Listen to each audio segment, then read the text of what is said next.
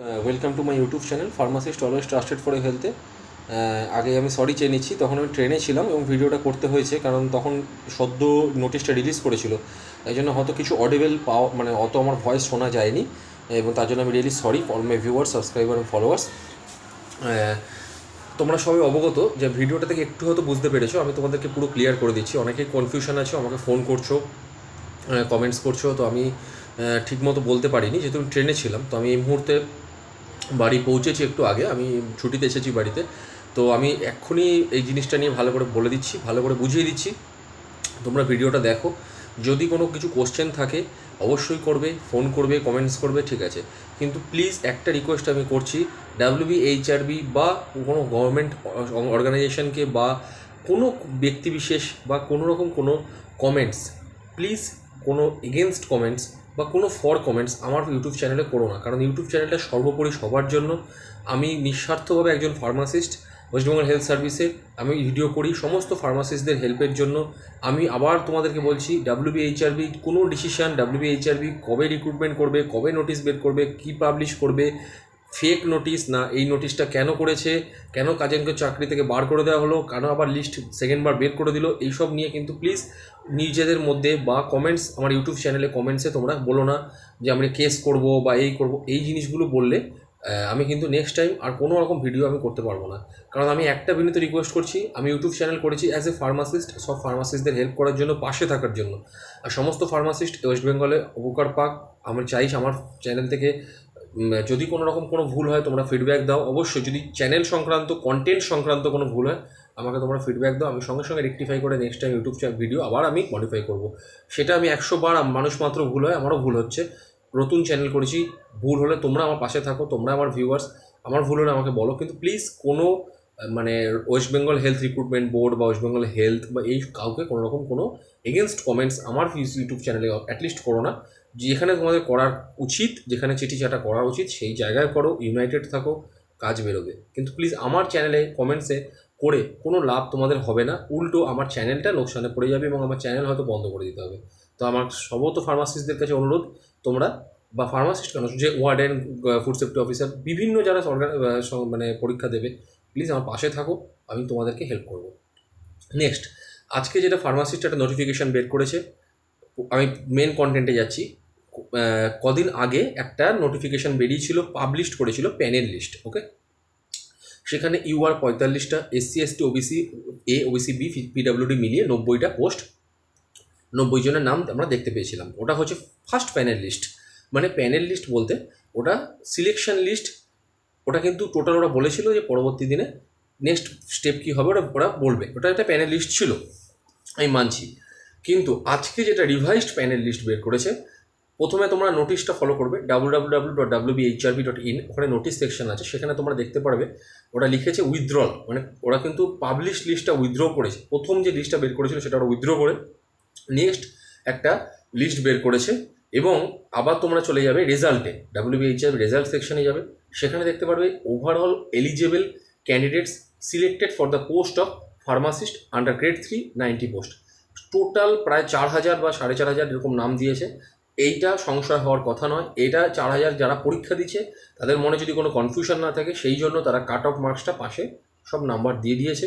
কে কত নাম্বার পেয়েছ? Overall interview total তোমাদের নাম্বার বেসিস মানে টোটাল যেগুলো হয়েছে মানে ইন্টারভিউ প্লাস তোমাদের যা নাম্বার এইচএস বা বি ফার্ম বা ডিপ্লোমা বা এম ফার্ম যাদের আছে তার সঙ্গে এক্সপিরিয়েন্স সমস্ত কিছু দিয়ে একটা কাট অফ তৈরি হয়েছে। যে হায়েস্ট ইউআর সে পেয়েছে এইটটি ওয়ান পয়েন্ট সামথিং এবং যে লাস্ট ইউআর তার পঁচাত্তর পয়েন্ট আটচল্লিশ, এরকম সামথিং হবে। SC ST OBC A OBC B PWD তাই করেছে।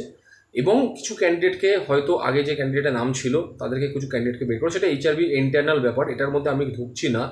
তবে আমি এইটুকুনি বলতে চাইব যে এই যে লিস্টটা করেছে প্যানেল লিস্ট মানে রিভাইসড প্যানেল লিস্ট হয়তো এটাও আবার চেঞ্জ হতে পারে। তাই জন্য হয়তো এটাকেও, এটাও আবার চেঞ্জ হতে পারে। বা কোনো রকম কোনো অবজেকশন আসতে পারে, সেটা হয়তো ভবিষ্যতে দেখব আমরা। তো যাই হোক, তো রিভাইসড প্যানেল লিস্ট একটা বেরিয়েছে। রিভাইসড প্যানেল লিস্ট থেকে পোস্টিং কিন্তু ওরা কিন্তু এখনও দেয়নি। এই জন্য এই নব্বই জনকে লিস্ট করা হয়েছে। এদের কিন্তু পোস্টিং এখনও দেওয়া হয়নি। আর আমাদের বেলা দু হাজার উনিশে কী হয়েছিল? ডাইরেক্ট আমাদের অ্যাপয়েন্টমেন্ট পোস্টিং ছিল। মানে যাদের নাম, বাবার নাম ডেট অফ বার্থ কোথায় পোস্টিং আর কোন জেলায় পোস্টিং এইটুকুনি ছিল এবং একুশ দিনের মধ্যে আমাদের জয়েন করতে হতো পিভিআর মেডিকেল করে বা এই জিনিসগুলো কিন্তু দেওয়া ছিল। কিন্তু কোথাও আমাদের কিন্তু এরকমভাবে পোস্টিং একবার দিয়ে আরেকবার বা পোস্টিং এটা এইচআরবি এন্টায়ার ব্যাপারে এর মধ্যে আমি ঢুকছি না।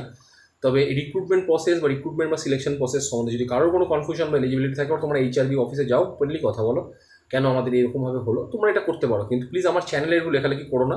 আরেকটা জিনিস আমি বলে দিচ্ছি ম্যান্ডেটারিভাবে বলছি, যে এরপরে হয়তো পোস্টিং লিস্ট দেবে নেক্সট উইকের মধ্যে, এই নব্বইটা। কারণ ওরা যে নব্বইটাকে আজকে লিস্ট করেছে, সবই কিন্তু এসসি এসটি ওবিসি ইউআর এবং পিডাব্লিউডি এবং OBC A B total list নব্বইটা করা হয়েছে। মেরিট লিস্টে যে চার হাজার আছে, সেই চার হাজার কিন্তু চাকরি পাবে না। ওর মধ্যে থেকে যারা সিলেকশন হয়েছে, তাদের দেখে প্রথমে দিয়েছে overall eligible performance of the all selected candidate for the post of pharmacist তার ওপর ওপর ওপর সেকশন করে করে UR PWD SC ST OBC A OBC B দিয়ে দিয়েছে। এবং এখান থেকেই কিন্তু ওরা প্যানেলিস্ট করে মানে প্যানেলিস্ট করা হয়েছে, ওই, এই নব্বই জনই চাকরি পাবে। চার হাজার লোক নয়। যাতে কারও কনফিউশন না থাকে, সেজন্য চার হাজারের নাম্বার এবং কে কোন নতুন র্যাঙ্কে আছে, সমস্ত দিয়েছে। এই নব্বইটাই কিন্তু ফাইনাল লিস্ট এবার এই নব্বইটার মধ্যে যদি কেউ জয়েন না করে, তাহলে হয়তো সেকেন্ড যে ক্যান্ডিডেট আছে, তাকে ডাকা হবে। যার number seventy five point forty eight ধরো সাপোজ ইউবারের লাস্ট কেউ আছে seventy five point forty seven সে তার নাম জানে এবং তার নামই হয়তো সেকেন্ড লিস্ট বেরোতে পারে। আর পোস্টিং কবে দেবে, আশা করছি আমি নেক্সট উইকের মধ্যে ওরা পোস্টিং প্লেস করবে। এবং ষোলোটা বা একষট্টিটার এখন ইন্টারভিউ চলছে। ইন্টারভিউ মনে হয় সোমবারে আছে মোস্ট প্রবাবলি তো সেই সংক্রান্ত ইন্টারভিউ ভিডিও আমি ছাড়বো খুব শিগগিরই। অনেকে আমাকে বলছে ইন্টারভিউ রিলেটেড ভিডিও করার জন্য। তো এই অবধি আজকে গুরুত্বপূর্ণ ভিডিও তো আমি তখন ট্রেনে ছিলাম দেখে পুরো ভিডিওটা অডেবেল করতে পারিনি। আমি জাস্ট এটা ছুঁয়ে গেছি। তো আমি এটা সেকেন্ড পার্ট আজ করে দিলাম। এটা তোমাদের সিলেকশন লিস্ট যাদের চার নব্বই জন চাকরি পেয়েছ। কিন্তু বাকি যে চার হাজারের লিস্ট ওটা হচ্ছে সিলেকশন মেরিট লিস্ট মানে ওইটা কিন্তু নট ফর জব ওটা জাস্ট একটা চার হাজার লোকের মেরিট লিস্ট পাবলিশ হয়েছে। ওখান থেকে নব্বই জনের কিন্তু প্লেস হয়েছে। তো আমি কালকে লাইভে আসছি দুপুর দুটোই কোনো কনফিউশন বা কোনো প্রবলেম থাকলে আমাকে কোশ্চেন করবে এবং আমি তোমাদের ইউটিউব চ্যানেল করছি ফার্মাসিস্ট এবং আদার্স আদার্স যারা আছে ওয়ার্ডেন ফুড সেফটি অফিসার বা হোমিওপ্যাথিক ফার্মাসিস্ট তোমাদের যখনই কোনো এইচআরভি থেকে আপডেট দেবে, আমি সঙ্গে সঙ্গে আমার চ্যানেলে আপডেট দেবো। তোমরা কোনো টেনশন করো না, আমি পাশে আছি। তবে আমি একটা জিনিস বললাম, কোনো অবজেকশন কারোর ভালো লাগতেও পারে, কারোর এগেনস্টে যেতে পারে। কিন্তু প্লিজ কমেন্টসে এই জিনিসগুলো করো না। এগুলো কিন্তু according to YouTube community guideline এগুলো রিজেক্ট হয়ে যাবে।